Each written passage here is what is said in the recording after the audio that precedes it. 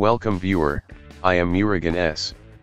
This video tutorial describes, fix Microsoft Paint app not opening error not able to create new document in Windows 11, 10. First method is click Start, Settings, click Apps.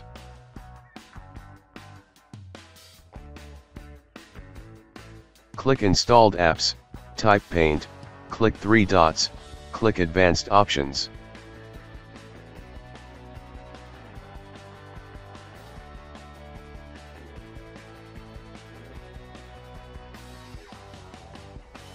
Click Repair and Reset.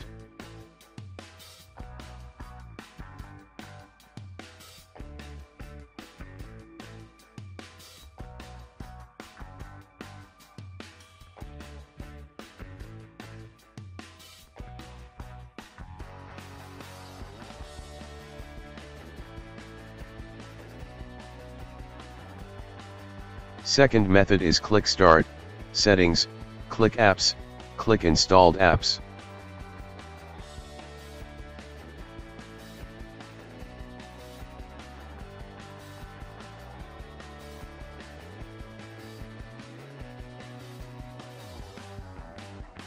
Search with Paint, click three dots, click Advanced Options. Click Uninstall.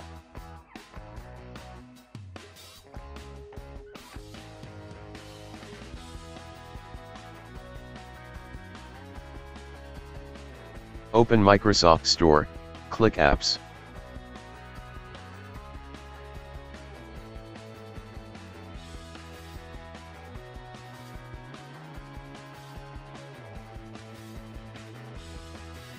Search with Paint.